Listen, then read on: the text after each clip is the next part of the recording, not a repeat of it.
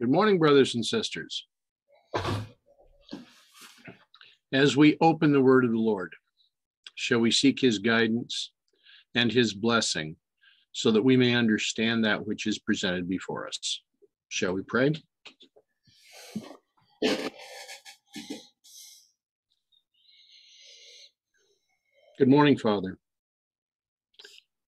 Help us today as we open your word that we may come to understand that which is being presented before us. Direct us, Father, for there is much we need to understand at this time. Our minds are not as open as they should be. Please open them. Please help to clear the cobwebs and the issues that we have faced.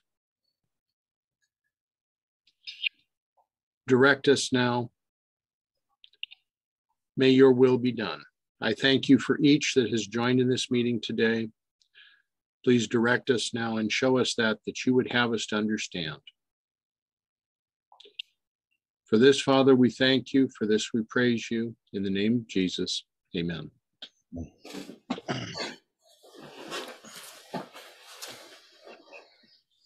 Okay, now there were several things that we were addressing yesterday. We'd reached a point that you were going to share some things, Theodore, and we agreed we would come back to that this morning.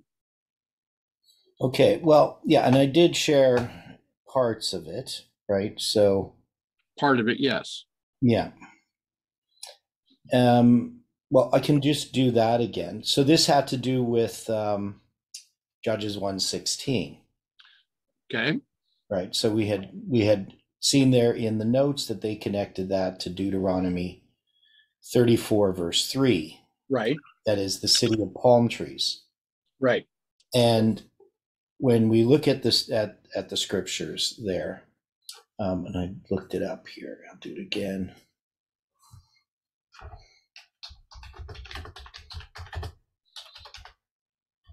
Yeah, there was a few different verses where this is mentioned.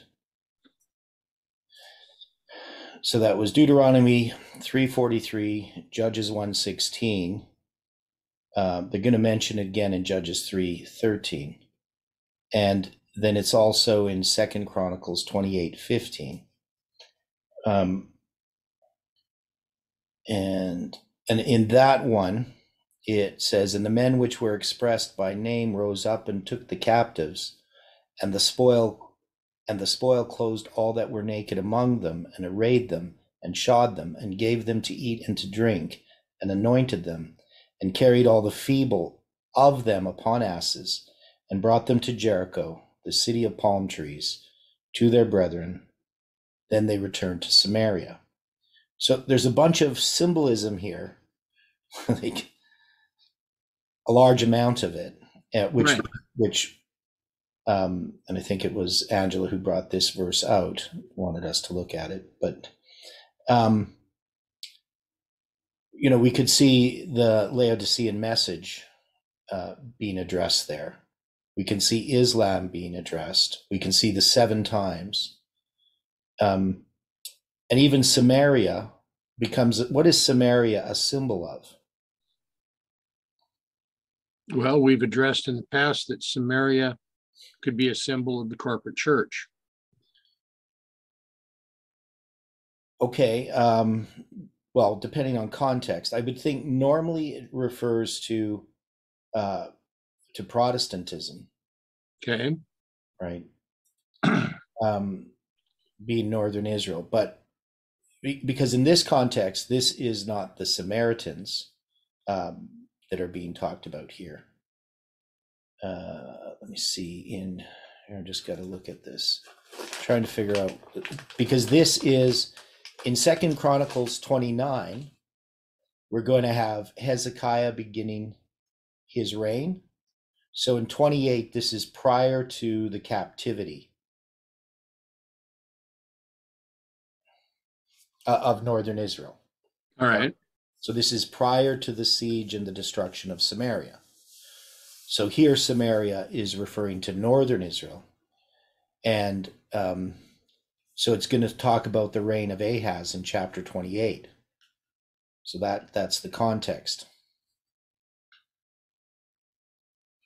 Okay, so there's a note there.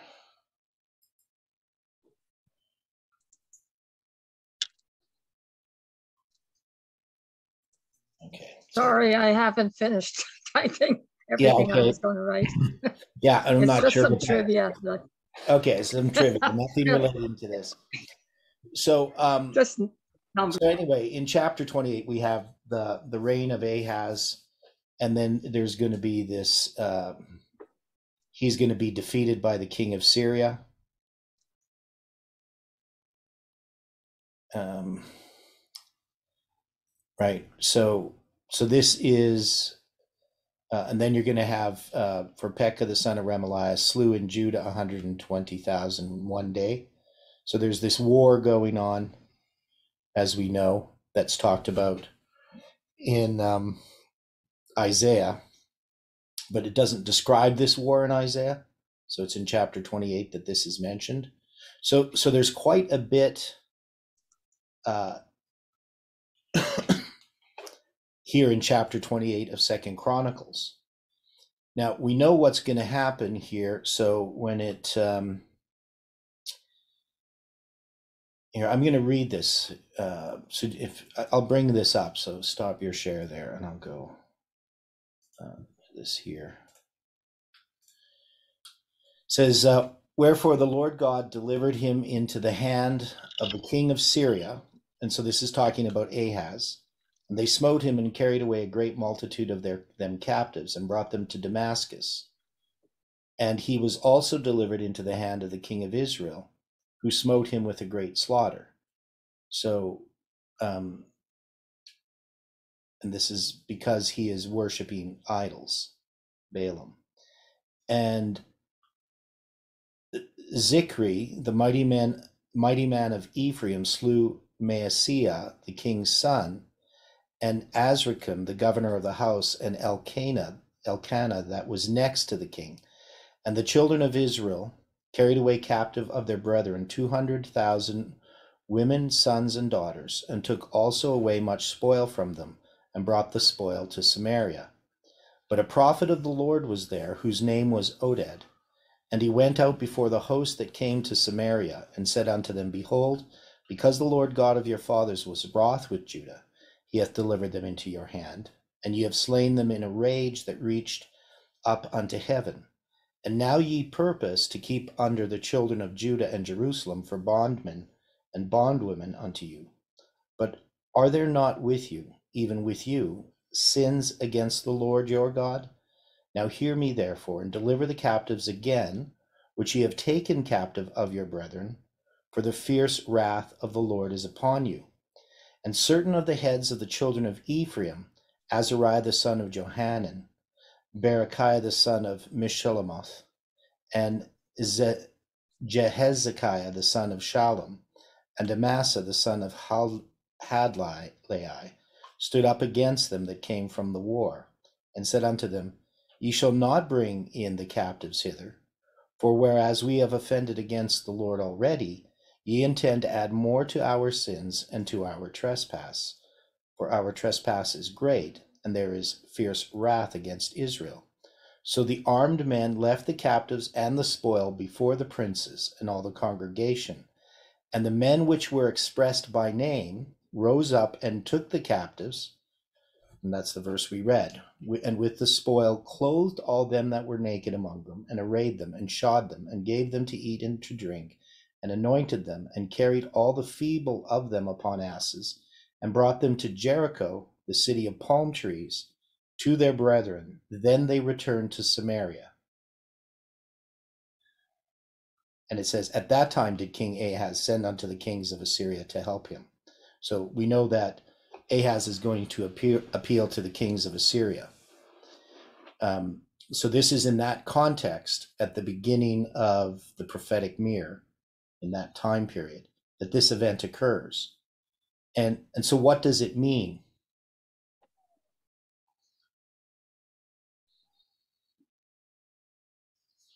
Because we have, and, and we know that in the next chapter, Judah is going to make an appeal when, uh, because it's going to be the reign of Hezekiah, when they're going to invite them to uh, the Passover that's going to occur in the second month after they cleanse the sanctuary. So, so these stories are in some ways connected. It ties these all together. But what would it mean that that northern Israel is going to do this for the captives of Judah?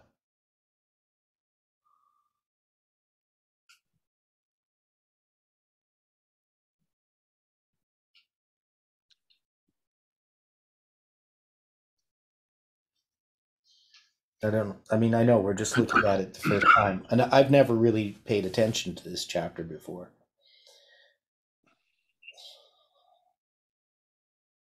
Are they trying to gain influence? Well, well, they definitely are worried about God. I mean, about their transgressions. So they know that they've transgressed. They see what's happened to Judah, and they know that Judah's lost due to the prophet speaking to them because of Judah's transgression. And so, in order to, I guess, gain favor with God, if that's what you're trying to say, they're going to return these captives and the spoil. I'm wondering if they're trying to gain influence with Judah itself and in a, a roundabout way seek forgiveness of their own sins. Okay, so if you're going to take this, because Northern Israel would represent Protestantism.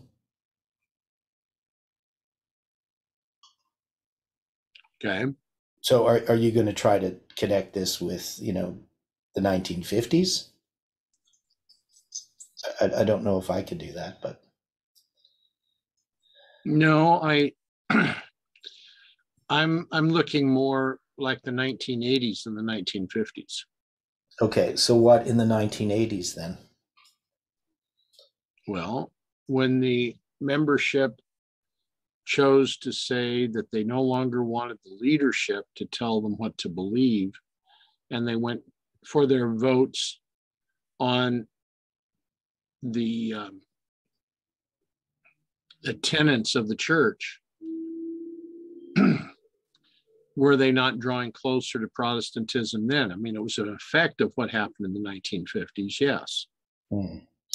Yeah, I don't know. See, I don't know if I would do that just because of all this symbolism, especially when you deal with Islam, the, the 2520, Right?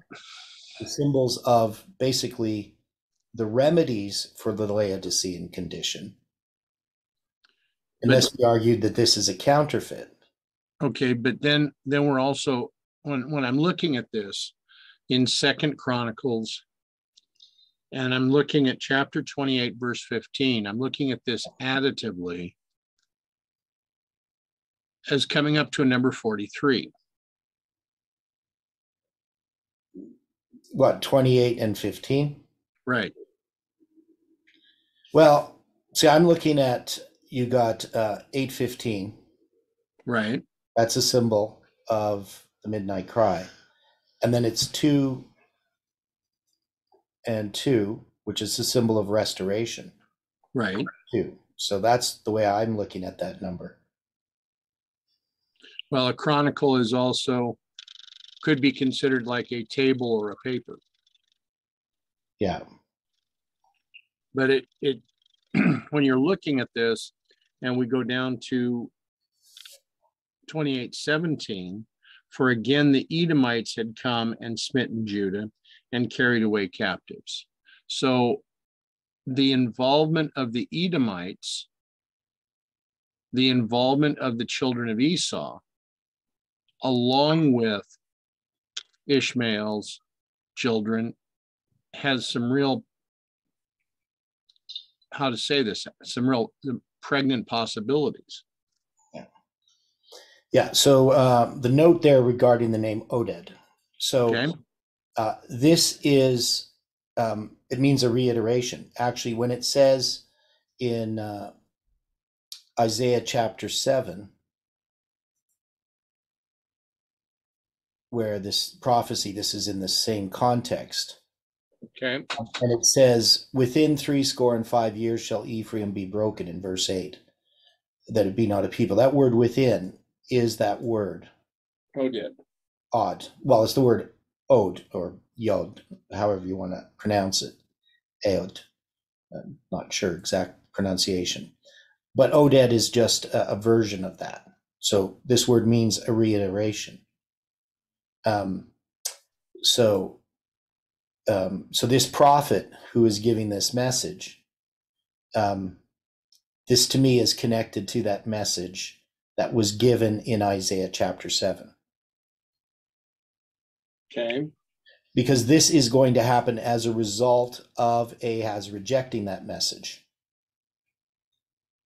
Because remember, it's right at the beginning of Ahaz's reign that he's given that message.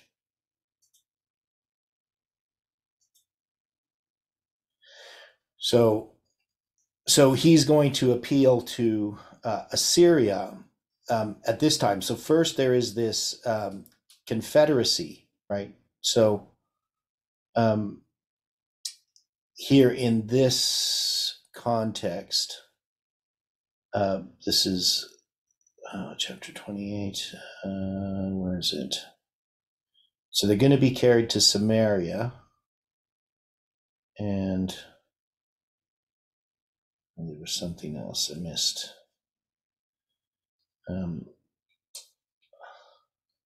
so, so Samaria has had anyway has this confederacy with uh, Syria, with Aram. Um, but in this case here, this is just going to be Samaria fighting against Judah, and they're going to be victorious in this. But then you have these people who listen to the prophet Oded.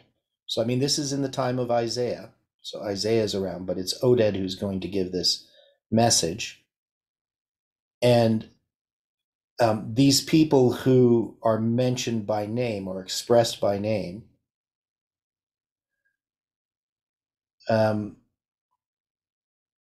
are the ones that are going to be, uh, I mean, to me, they're doing what's right but they're not in Judah, they're in Israel, because they're heads of the children of Ephraim. Right.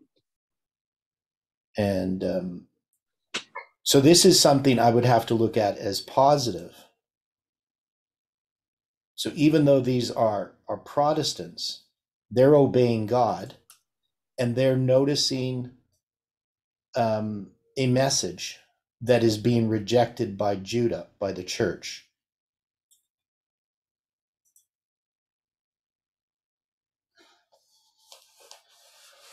So they're they're accepting the truth. All right. That's the way that I would understand this in this context. So this portion of Judges opens up an entirely different path and understanding from what we've had in the past. Yeah, and and it's tied to this message dealing with Islam. So we know that Protestantism has false prophecy, right? I mean, we know the Protestant methodology that is is really not Protestant, right? So there is a true Protestant methodology of study that was then rejected because they adopted the Catholic methods. Right. There are still true Protestants that exist. Right? They know that the Pope is the Antichrist. Many of them even keep the Sabbath. Lots of them understand historical interpretation of prophecy. Right? They haven't rejected the things that led to the Protestant Reformation. And so there is some connection here um, with something that the church has rejected. We can see that some Protestants have accepted. But, but exactly what this means, I mean, we have you know, we have all of the symbols of our message right here. Right? We have the third angel's message, the message to the Laodicean church. We have Islam. We have Jericho, the city of palm trees. That's the seven times. Um, But some people are going to be supporting this message, but they return to Samaria, at least for the time. And then Ahaz is going to appeal to the king of Assyria to help him, which is, of course, going to be worse than if he hadn't. He should have just accepted the judgments of God. Okay. So, so that's so that's the one thing. So, dealing with the city of palm trees, um, right? Uh, we got just going back to this situation in Deuteronomy uh, chapter 34, verse 3, where it mentions this city of palm trees. So, this is the first mention of Jericho being called the city of palm trees. And we know that um, the the um, yeah. So my one thing started again. Here, go back here. Did I get cut off at all? No. Okay, so my one computer was fine. The other one's restarted uh, Zoom. Not sure why. Anyway, um, so Moses went up from the plains of Moab unto the mountain of Nebo on the top of Pisgah, that is over against Jericho. And the Lord showed him all the land of Gilead unto Dan, and all Naphtali, and the land of Ephraim and Manasseh, and all the land of Judah unto the utmost sea, and the south and the plain of the valley of Jericho, the city of palm trees. Right, so that's where we're going to have that first mentioned. Right? Okay. Right.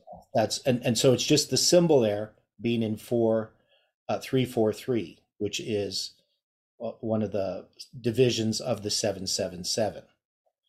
And then in Judges 116, that's another division, the 161 of the 777. We have um, these Kenites, um, children of the Kenites, or so that's the Kenites, children of the Kenite, Moses' father in law went up out of the city of palm trees with the children of Judah unto the wilderness of Judah, which lieth in the south of Arad, and they went and dwelt among the people. So these are um, non Jews, right? Uh, who are the children of the Kenite exactly? So we had some discussion, but I missed some of this because of my. Well, I mean, the, the children of the Kenite have their relation with Hobab, Jethro, Moses' father-in-law. Yeah. So they are still interrelated because these are Midianites. Yeah. And and the Midianites are descended from I forget. Who are they descended from? I hadn't looked it up. Uh,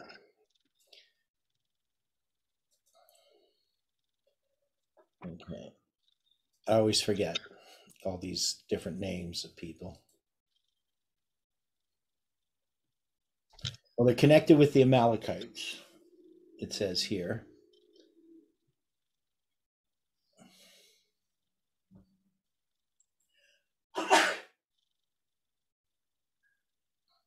that Midian was a son of Abraham through Keturah. Okay. So now, what about it? It says here, just this is uh, Hastings Dictionary, um, but it says closely connected with the Amalekites. And, I'm looking. I'm looking at Genesis 25, 1 to 3. Okay yeah so they're they're going to refer us to these but uh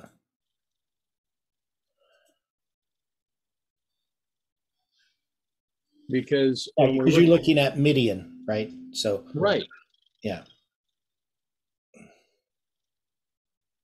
because you you've got to start with midian in order to come to uh understanding who kenite is and what the interrelation should be. Yeah. Um, in First Samuel 15, verse 6, Um, well, so First Samuel 15, Samuel also s- said unto Saul, The Lord sent me to anoint thee to be king over his people, over Israel. Now therefore hearken thou unto the voice of the words of the Lord.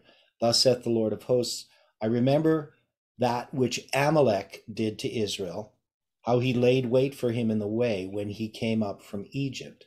Now go and smite Amalek, and utterly destroy all that they have, and spare them not, but slay both man and woman, infant and suckling, ox and sheep, camel and ass.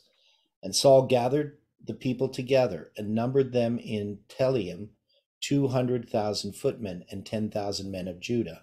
And Saul came to the city of Amalek and laid wait in the valley.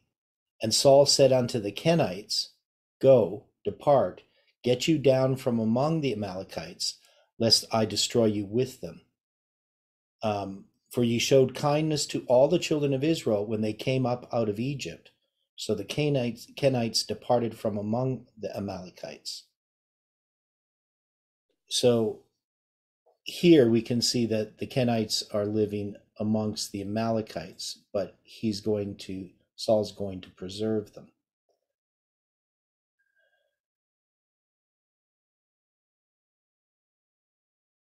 Was he not led to preserve them? Because Saul didn't make a lot of great decisions on his own. Yeah, well, for what whatever reason, it doesn't say specifically, but he chose not to, for whatever reason.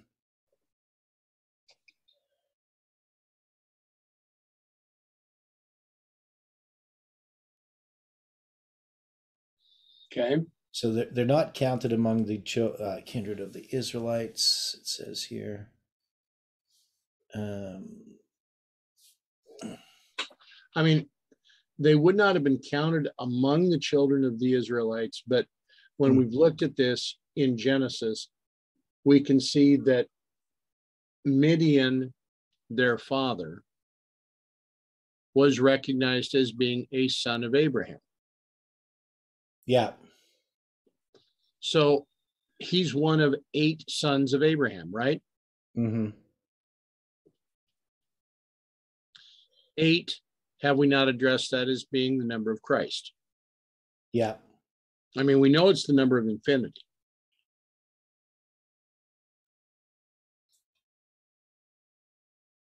So there's something, you know, something additional in this portion as well. Hmm Yeah, and and Angela had noted yesterday also that it's in the curse of uh, Balaam that um, there was a reference to the Kenites, uh, I believe. Was there Okay. not? I, I mean, I know there is. Um, let me just see here. Um, yeah, so Numbers 24 to 22. Um, so here's here's what Balaam's final oracle. And he took up his parable and said, Balaam the son of Beor hath said, and the man whose eyes are open hath said, He has said, which heard the words of God and knew the knowledge of the Most High, which saw the vision of the Almighty, falling into a trance, but having his eyes open. I shall see him, but not now. I shall behold him, but not nigh.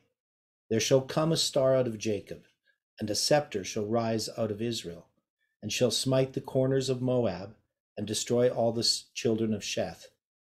And Edom shall be a possession, and Seir also shall be a possession for his enemies, and Israel shall do valiantly. Out of Jacob shall come he that shall have dominion, and shall destroy him that remaineth of the city. And when he looked on Amalek, he took up his parable and said, Amalek was the first of the nations, but his latter end shall be that he perish forever. And he looked on the Kenites and took up his parable and said, Strong is thy dwelling place, and thou puttest thy nest in a rock. Nevertheless, the Kenite shall be wasted until Asshur shall carry thee away captive. So um, I'm not sure if I fully understand all that that Balaam is talking about here. But I mean, we obviously see the prophecy regarding Christ. Um, and then he mentions Amalek and the Kenite, Kenites again. So they're they're connected. The part where it says nest in a rock, well, when I think of that rock, I'm thinking of Tyrus, which is a which- which is a symbol of the papacy. Okay.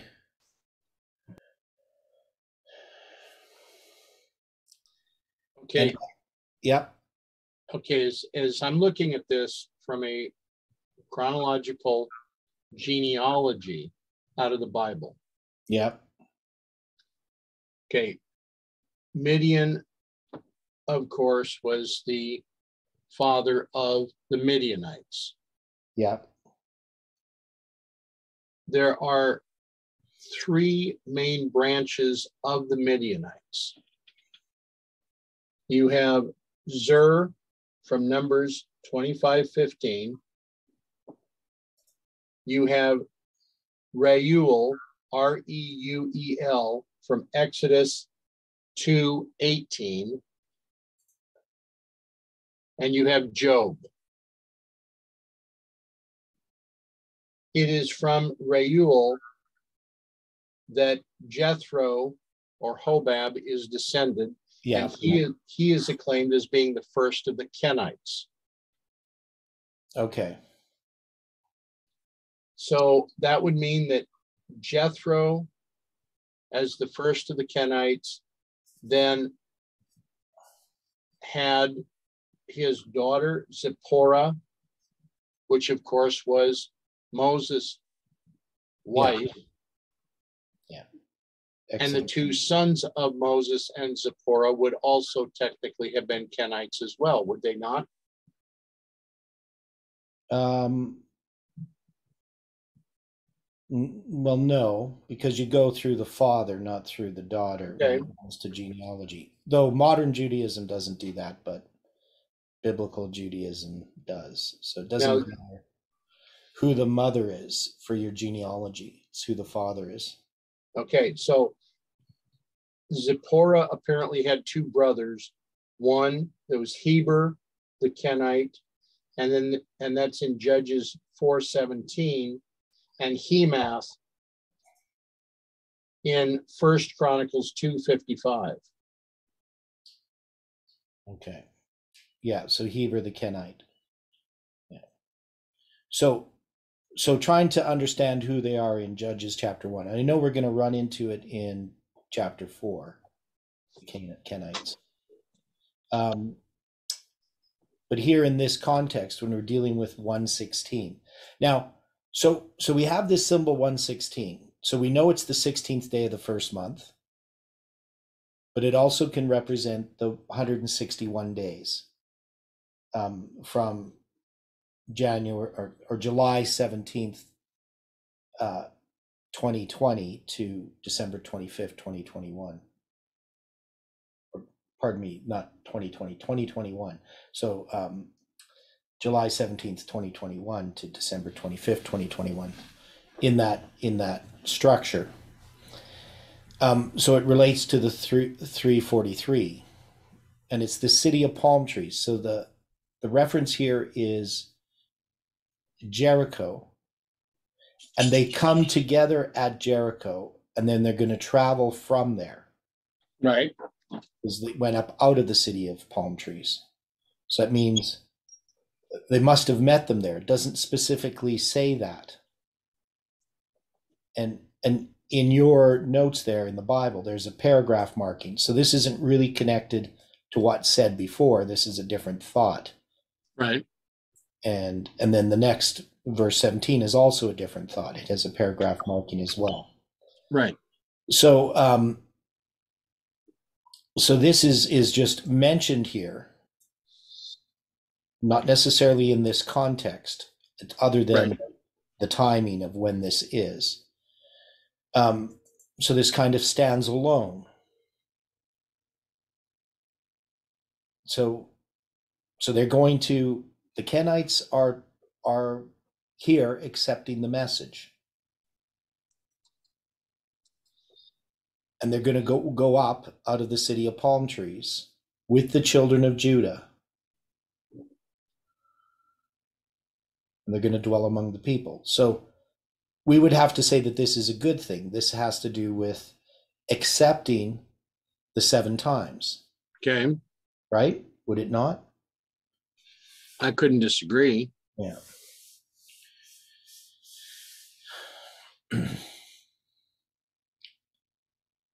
Okay, so so uh, just getting back to um, what I had shown that chart. Um, so these were the the various divisions. Oops, So what? you just hang on. I gotta do this again.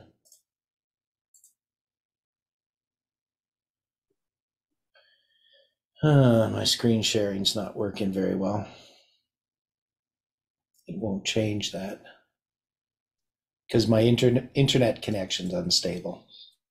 We have several different symbols within Judges 116 that we're going to need to consider as we go forward within the study. Now, hopefully Theodore will be able to rejoin us here in a little bit. But there were a couple of things that I looked at in Judges 117 that I think are going to be important for our consideration. And like he pointed out, this again would have a paragraph marker. So I'll open that back up.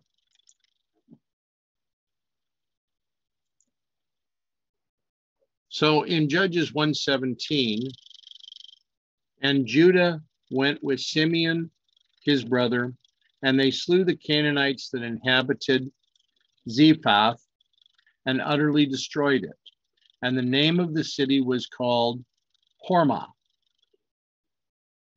When we look at this, you would see this city that was inhabited by the Canaanites. The meaning of Zephath is watchtower. And there may be other meanings for it. I'm just looking at a very simple explanation to ask, you know, what are we seeing here? So if Judah and Simeon have now destroyed the watchtower and they have utterly destroyed it, then are they changing the name to Horma? And what I'm seeing there when I go to look is that Horma means devoted.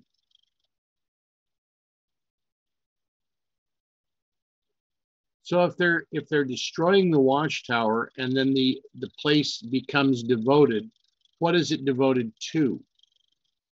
And what were they destroying the watchtower for? Anyone have any ideas?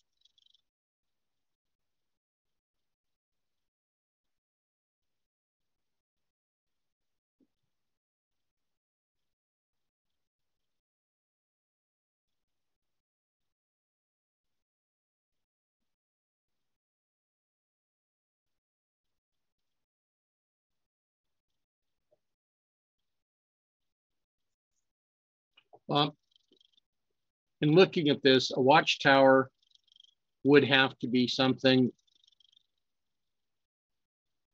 that they use to give a warning. And if they destroyed the watchtower, then the warning would have been ineffectual.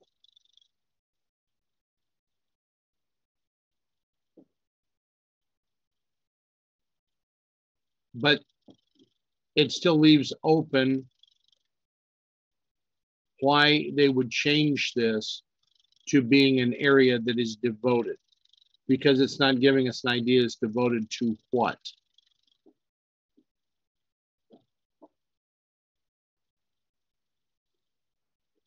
So there is a lot here for us to consider. Yeah, which which name would have come for, first though, Zephath or, or, or Hormah? I guess it would be Zephath. That's the way it's being presented here. Yeah. I mean, from context, would you not agree? Yeah, I was just trying, trying to figure, yeah, you're right.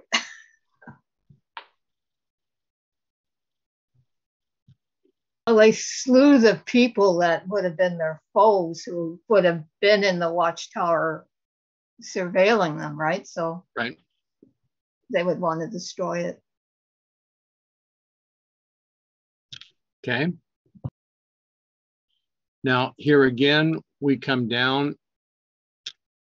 And when we're looking at Numbers 21 3 and then Joshua 19 4. And the Lord hearkened to the voice of Israel and delivered up the Canaanites, and they utterly destroyed them and their cities. And he called the name of the place Hormah. And in Numbers, that would have meant that Moses would have called it Hormah. And we see in Joshua 19, verse 4, that Hormah is listed as one of the cities given to one of the tribes. So if we were to look at that briefly,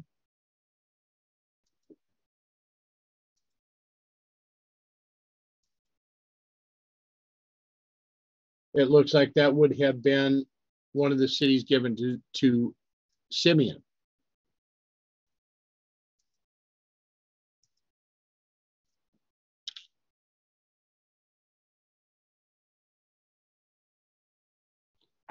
Then we come down here, and Judah took Gaza with the coast thereof, and Ascalon with the coast thereof, and Ekron with the coast thereof.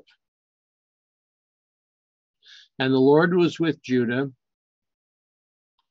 and he drave out the inhabitants of the mountain, or according to the alternate reading, he possessed the mountain, but could not drive out the inhabitants of the valley because they had chariots of iron.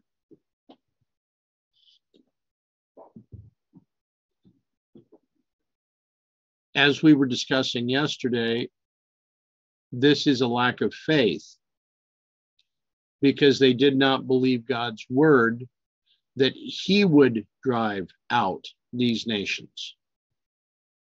They took it upon themselves to drive out these nations.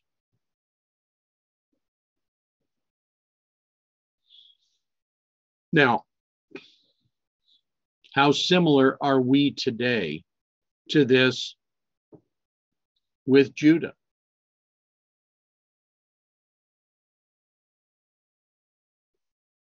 Are we choosing not to go forward because we're afraid of the Protestant interpretations? Are we choosing not to go forward because we're seeking to listen to those men of pleasing address that are telling us that everything is going to be fine, that are giving us a peace and safety message? Are we choosing not to go forward because the corporate church is saying that they alone have salvation?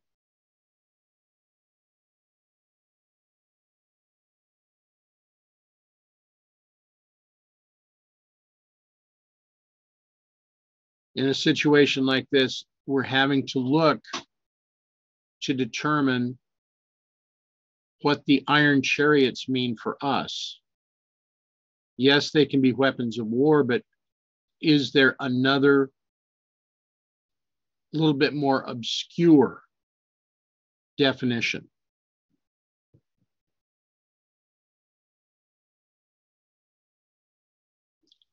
And they gave Hebron unto Caleb as Moses said, and he expelled thence the three sons of Anak. And welcome back. Yeah, um, it's on my the iPhone. So Okay. We were just trying to cover some things in your absence. what did you cover exactly? Okay. I think you've been around Mark too long.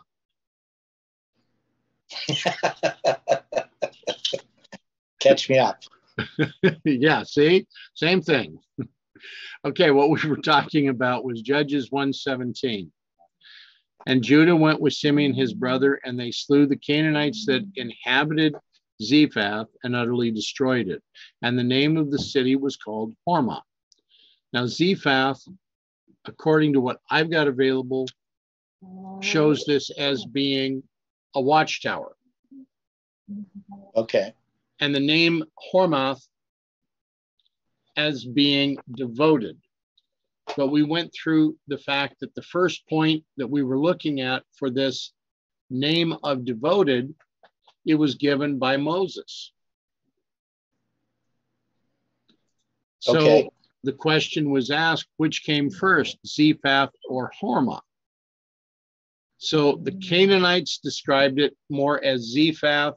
Moses had described it as Hormah. So by context, we have to ask, you know, which came first, which was most important. I mean, the meaning of a watchtower is this is supposed to give a warning. And obviously, the warning didn't go very well because the city was destroyed. So, how do we how do we make sense of all this? How do we place this in our line? How do we look at this for our time and within this in the movement? Yeah. So so we have the symbol of the watchtower, Right? which um, is about this message of warning regarding Nashville. Okay. And the other meaning was Devoted. Devoted. See, when we when we take a look at this, we come down here and in Numbers 21, verse 3, and the Lord hearkened to the voice of Israel and delivered up the Canaanites, and they utterly destroyed them in their cities, and he called the name of the place Hormah. Yeah. So this is Moses that is calling it Hormah. So are we seeing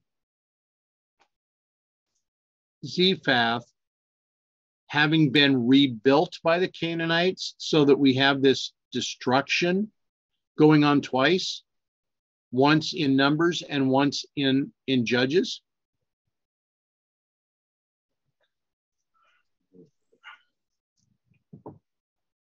I mean, from context, I would have to think that that was the case.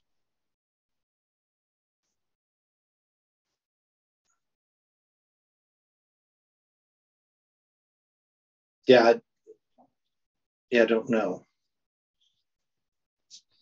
The context isn't always clear because they jump around.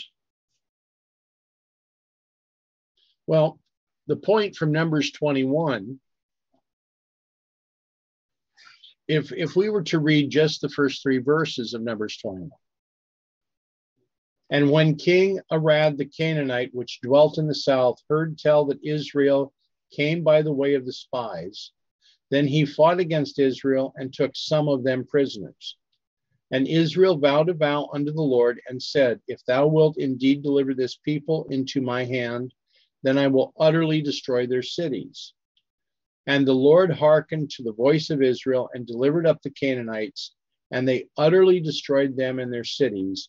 And he called the name of the place Hormah. Now, nowhere here is Zephath mentioned.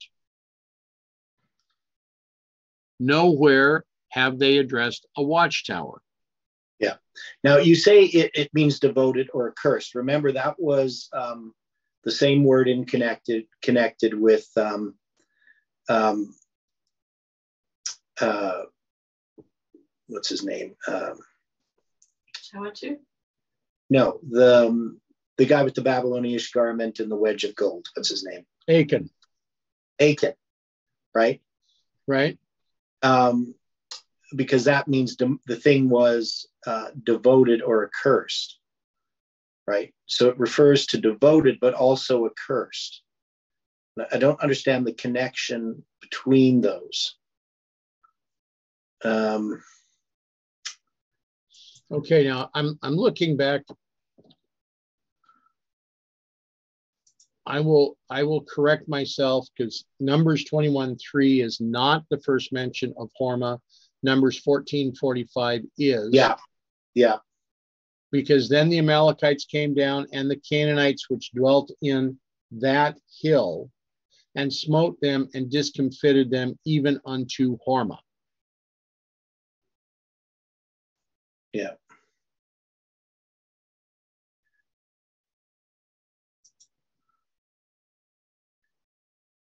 So, yes, they're jumping around. Yes, there's some comment, connection here with the Amalekites, with the Canaanites, and also with the Amorites. Because we find this again mentioned in Deuteronomy 1 4 4, Hmm. which would be the symbol for the 144,000, right? Correct. So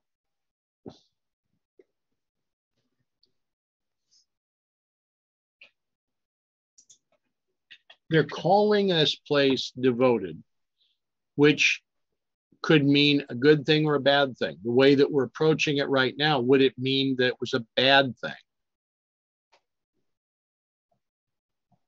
That it was accursed?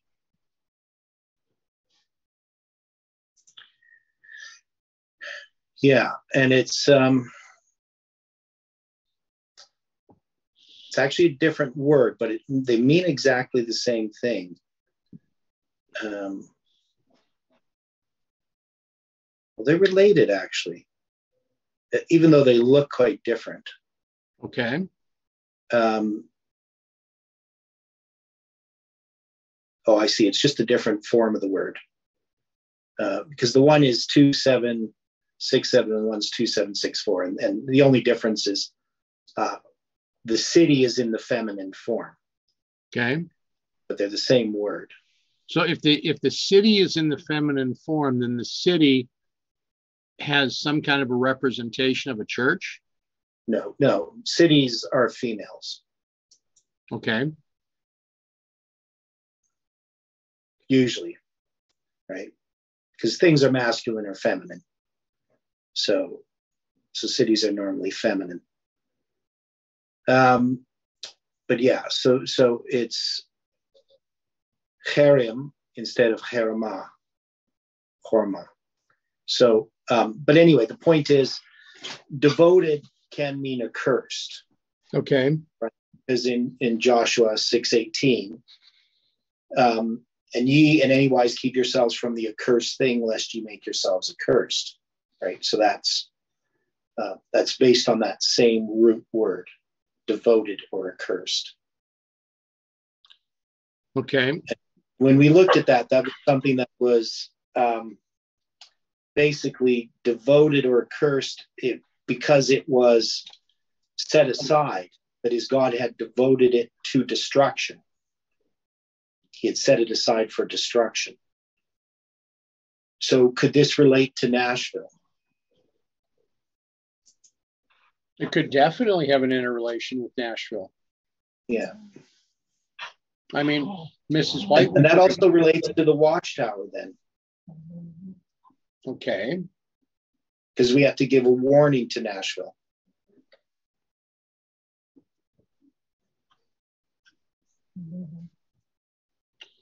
Okay. Now, this is opening up an interesting point. So,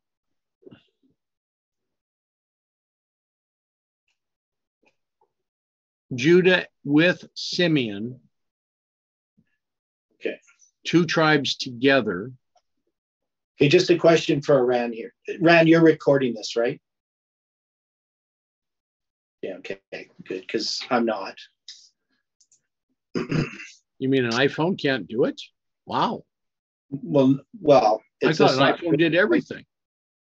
I don't, I don't know. Maybe it can. I have no idea, but it's just that um, my recording stopped when everything shut down. My internet shut down for a while. I, I'm just teasing, okay? Yeah, you know, but I always takes teasing seriously. Okay. so um So here, here we have these two, two tribes that come down to slay the Canaanites that inhabit the watchtower. Mhm. And the watchtower is utterly destroyed. So the watchtower, it could that have been the church that was supposed to give a warning? That to me would be a logical application.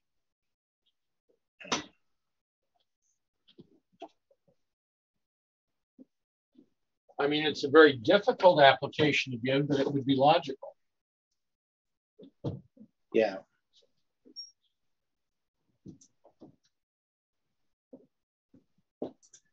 Anyone Okay, else uh, have a thought?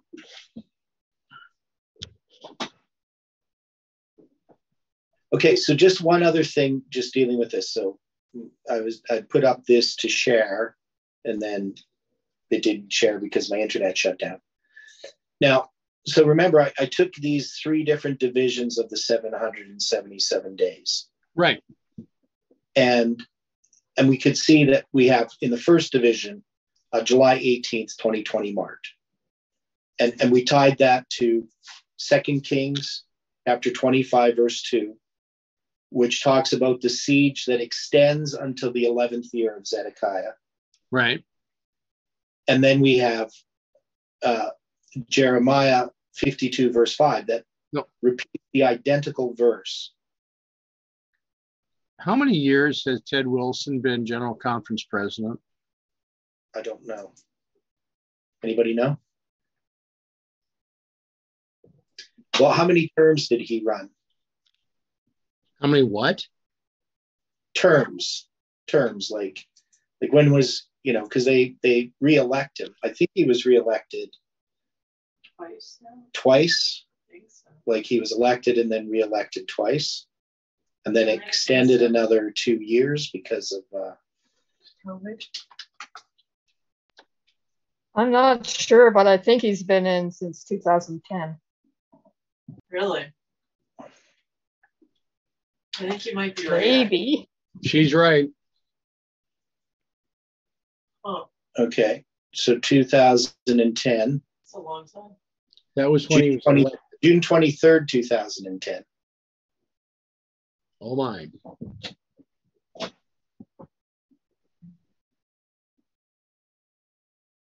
so Is he representing Zedekiah? hmm. well i would think so? Well because of he's the last president Okay. in some kind of context, not not necessarily literally, but Right. um, he's the president in president in this line, dealing with with with our line. Um,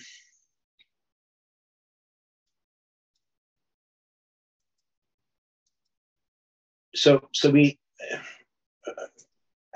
so we were dealing with what the 11 years the 11th year of zedekiah. That's why you were trying to wonder when he became Right. uh, president. So if in 2010 wasn't 2020 the 11th year is that what you're trying to say? That's what I'm looking at. Yeah, okay.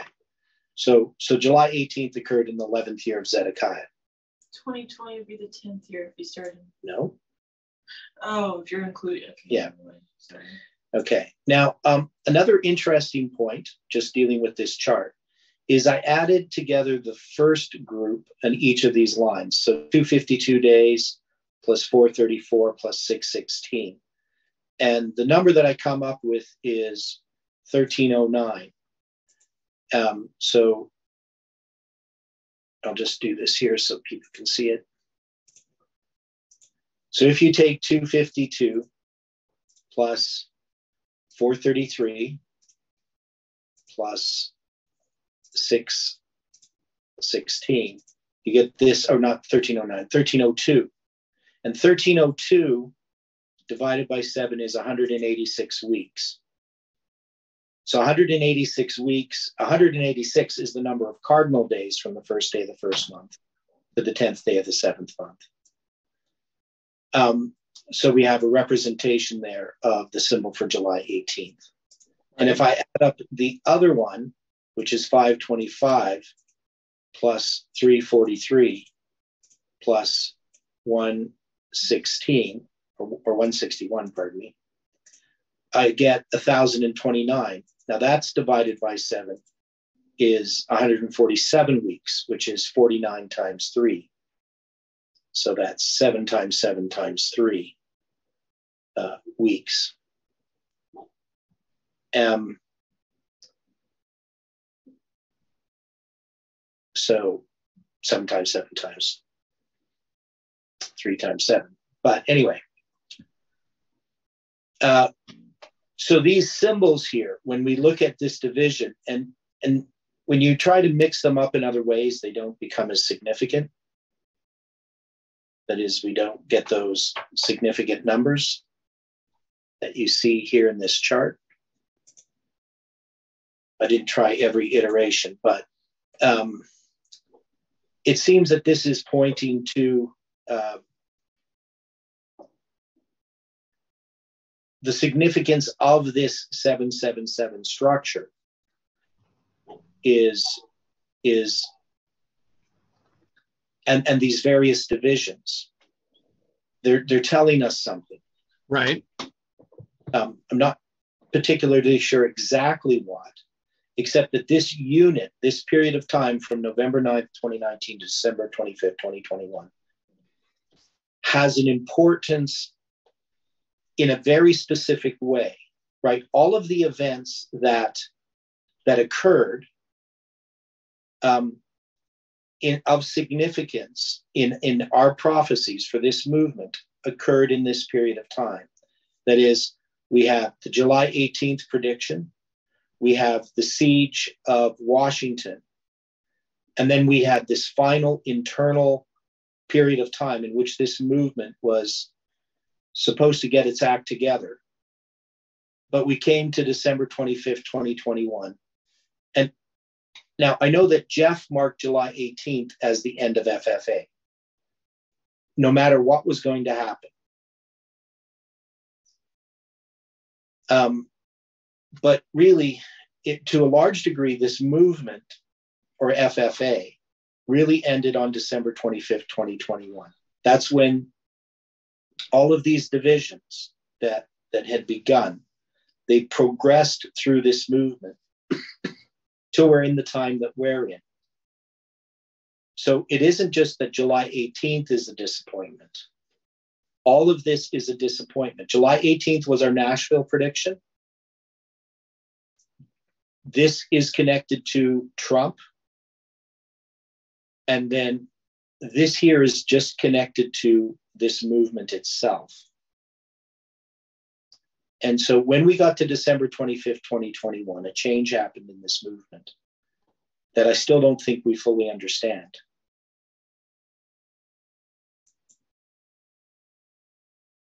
Well, And, and this is all typical of what's going to happen. is this, would this be similar to the progression of disappointments that the Millerites faced through 1843 and 1844? Yeah, and all the way up into the 1850s, 1850, 1851.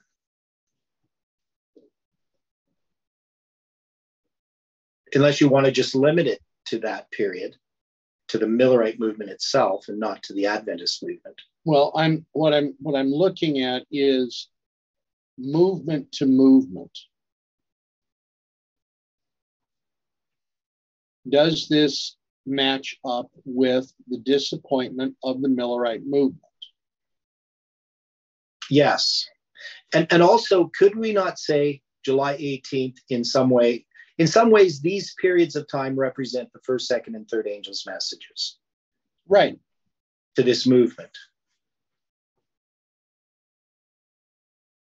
And we also know the significance of 161 has a symbol for uh, the wave sheaf offering.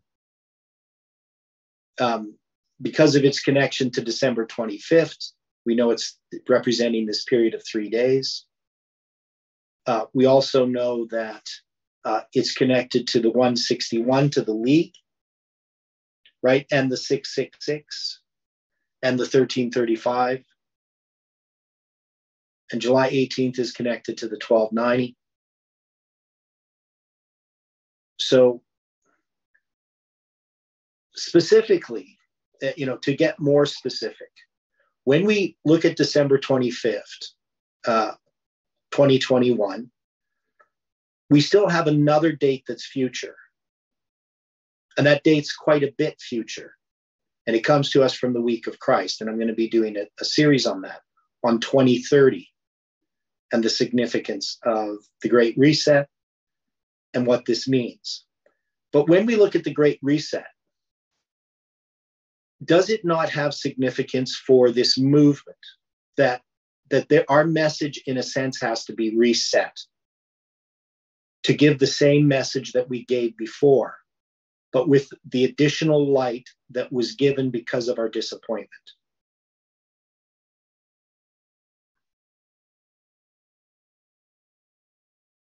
Well,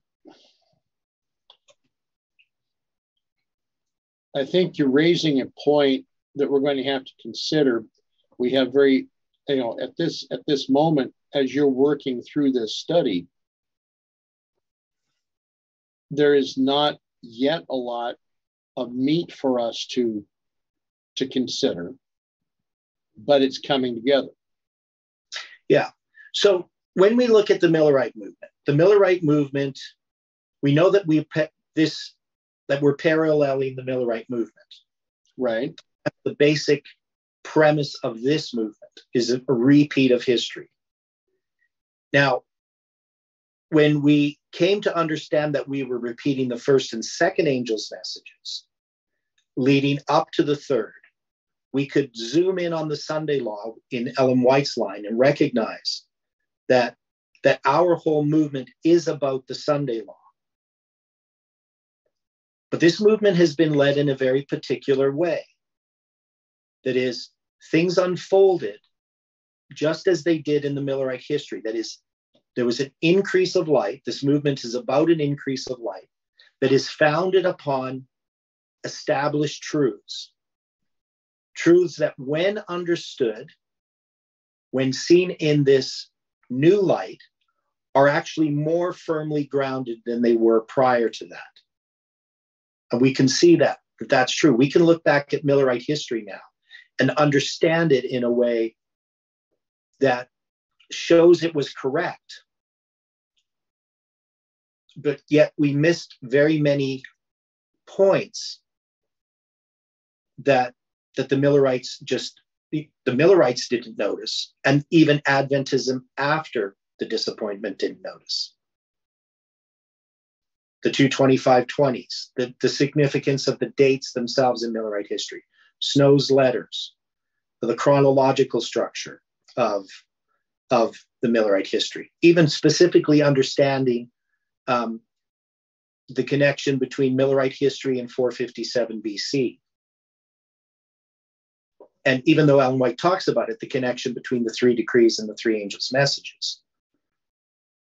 And also the understanding of Josiah Litch's prophecy in a much deeper way. Now, this movement has been an unfolding of this light but wouldn't it be once the light is unfolded that then the movement has the message to give? Repeat that, please.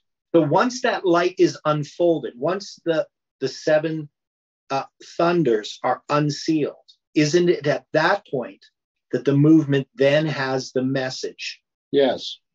Okay. So we've been giving a message all the way through this, but that message has been an unfolding of light. But the movement has to come to the point where it now has the message, and that message is going to be empowered.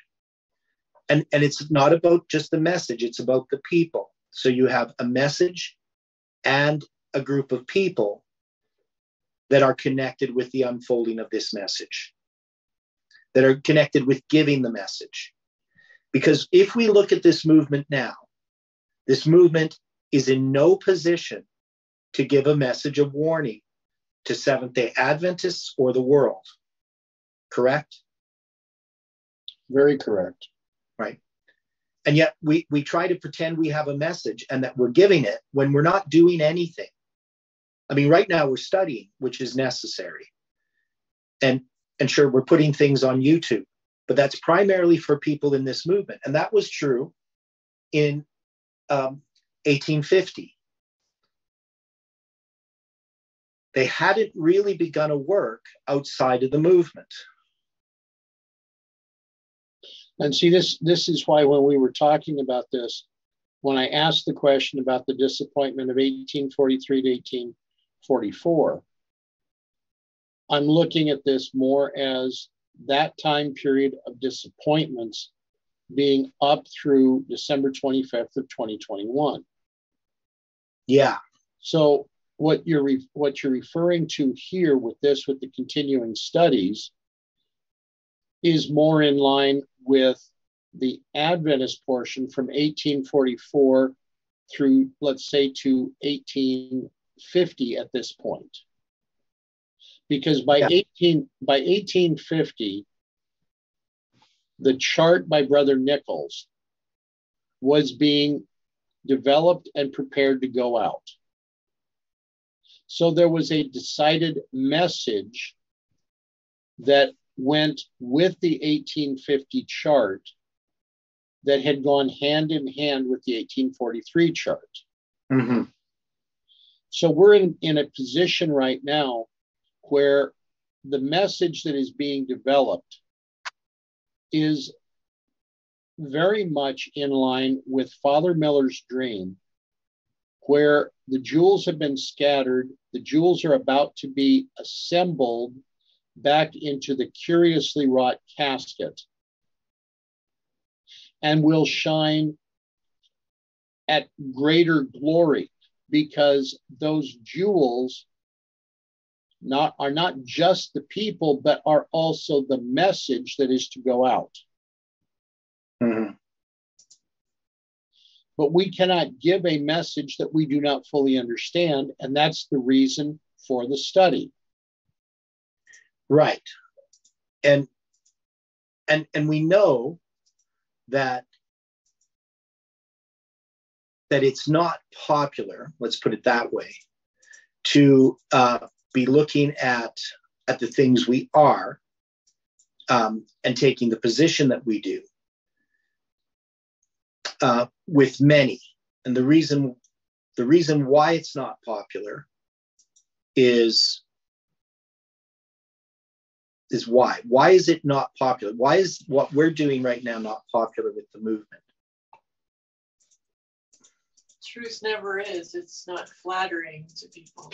Yeah, I'm talking about in a more specific sense. Well, she's got a good point. Yeah, I know it's it's it's definitely not flattering. But it's it's also this situation is a lot like having a wound. You cover the wound with a bandage, and then all of a sudden that bandage is being ripped away. Mm-hmm. It hurts. It hurts to recognize the issue that's underneath. Mm-hmm. And truth will do that. Yeah.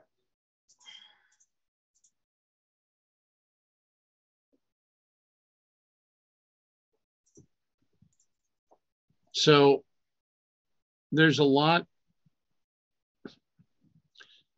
there's really a lot that, that in these portions that we've been studying, especially in Joshua and Judges, and in comparison with the minor prophets that we have not mm-hmm. wanted to study before. No, and, and and we can see how little we actually understand of the scriptures. Yes. Like we were almost in complete ignorance of the scriptures, to be honest. and we still are. It is Agreed. you know, and, and this was the thing about the movement. I, I was a knowledgeable Adventist prior to coming into this movement. But once I joined this movement, I was as ignorant as possible to be. That is, almost everything I knew was so surface, even though there were certain points here and there that I could then understand once I understood this message. I was only just looking at, at a very surface level of Adventism. But many people are still holding on to that understanding that they had, either prior to being an Adventist or, or prior to this movement when they were an Adventist, or even the ones that have come into this movement haven't understood the deep things of God.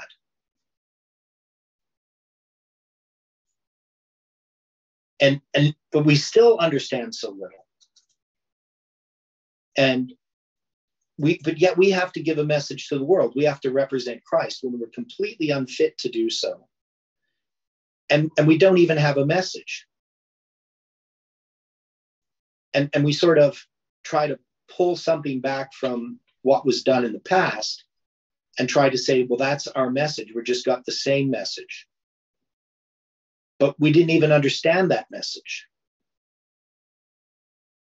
so it, it seems to me that there's a lot that has to occur for this movement to to accomplish what it's supposed to accomplish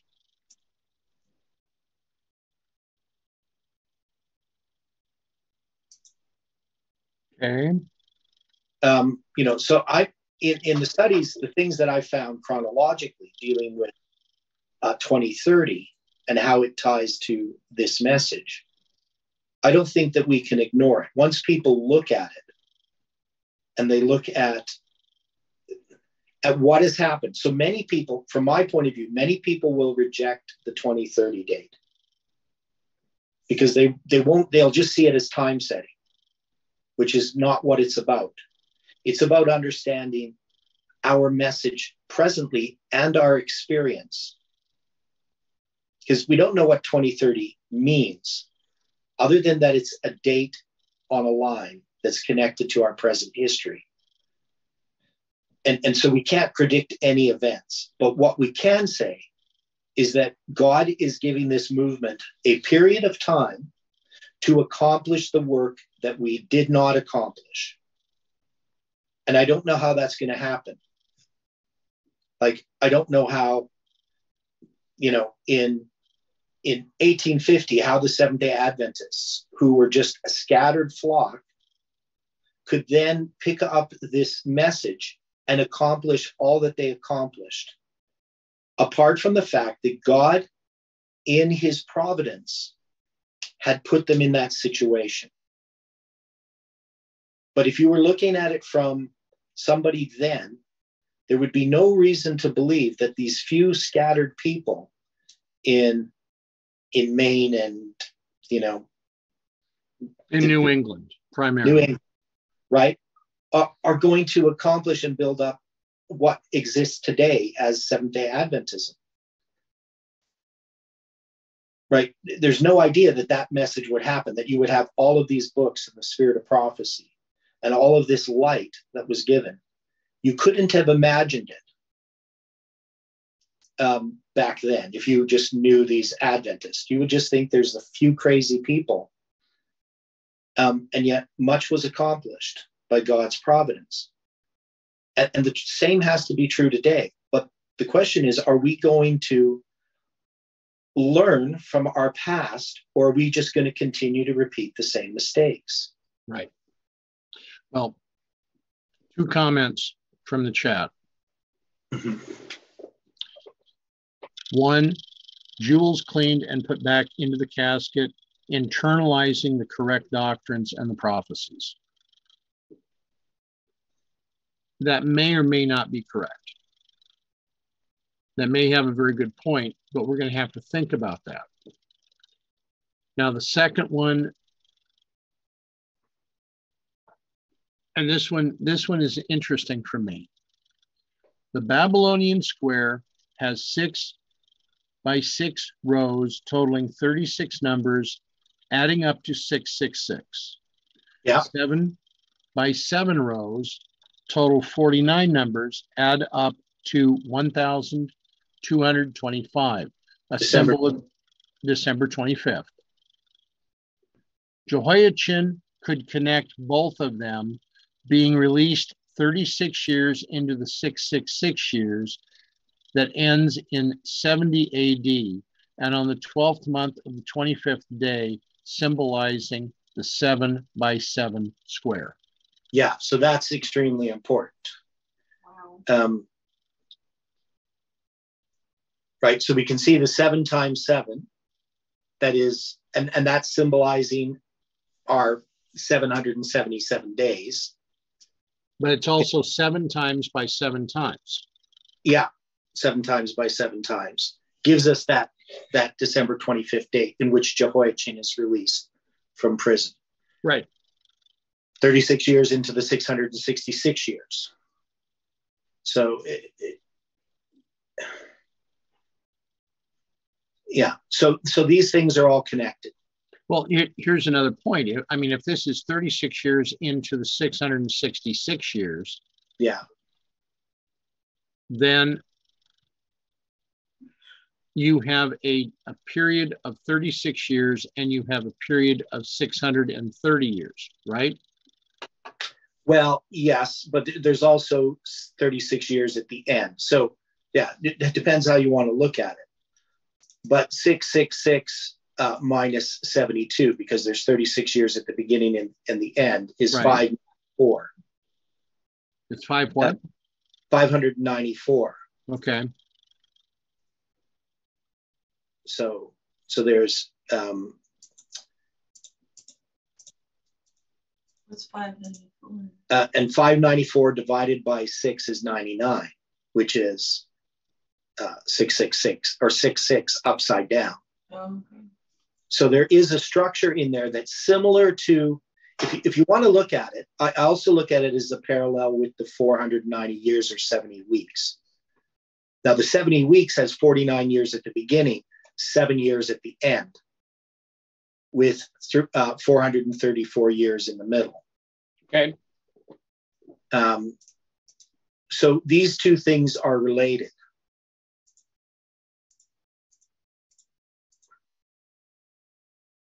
Right, that is the, the 666 structure and the 666 years, the Babylonian square, is Satan's counterfeit of the 777.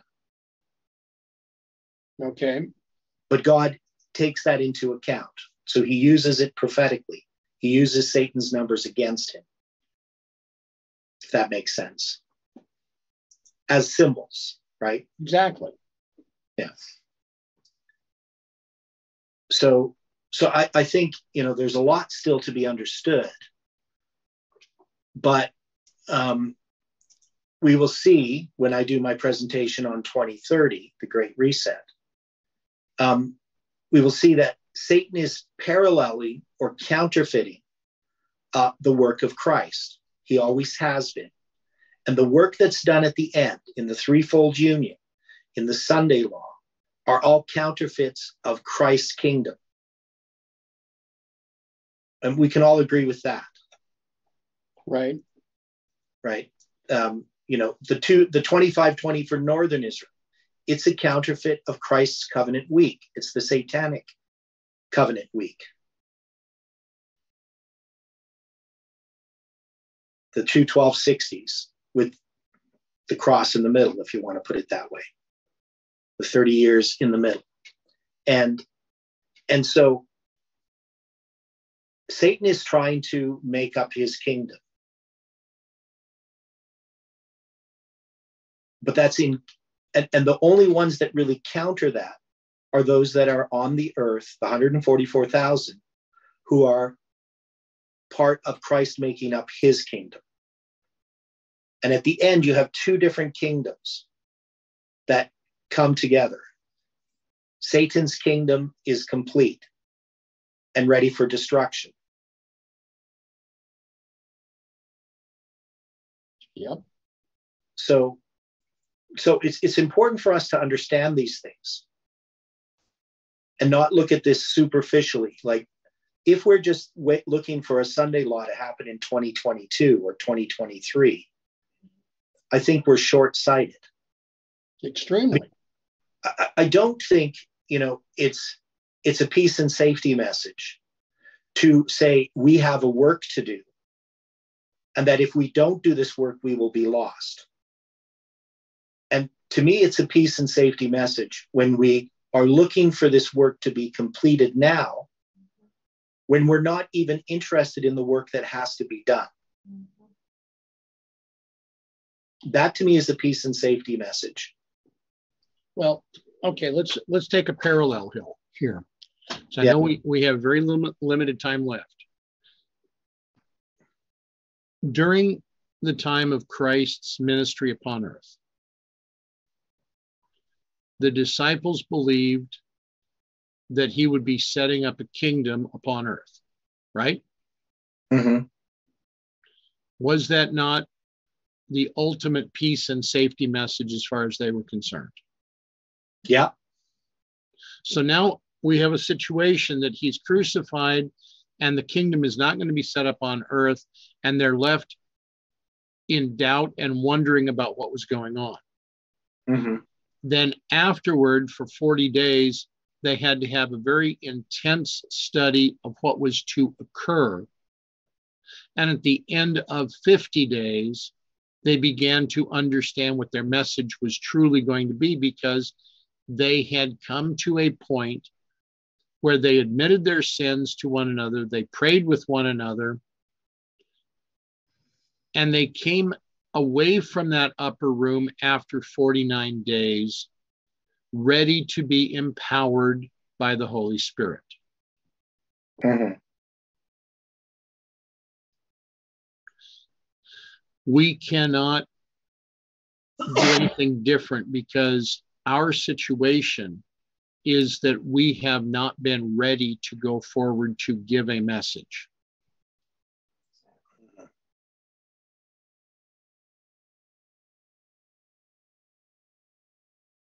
So, And we're not doing anything to to give that message. right. Like and, and I don't think that we should right now be trying to give that message because we don't have the message to give. We have to study. And that's that that's become part of the point because the more i'm looking at some of these other um, fringe ministries and i know that there are some that that would say that i'm very wrong but i'm, I'm comparing in that walter Veith. all of this is not giving the message that we are to be giving because it's no it is really not the true third angel's message Mm-hmm. So Yeah. Okay. So we're now at the point of the close of our time together. Any other thoughts or questions? Any other comments?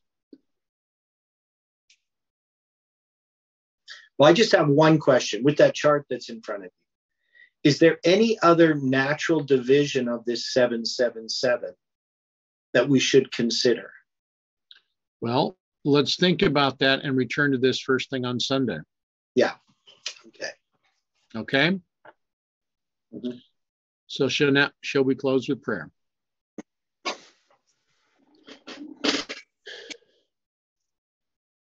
Gracious Father in heaven, we thank you today for this time that we have spent together. We thank you for the comments, the questions, and the contributions of all that have been here. We ask now, Father, for your direction. You know the message that is to go forward. We need to learn the message. We need our minds opened so that we can understand the message that we are to give. Help us to this end. Direct us through this day. Help us to consider all that we have, have discussed. And may your will be done in all that you would have us to do today. To this end, we thank you and we praise you. In Jesus' name, amen. Amen.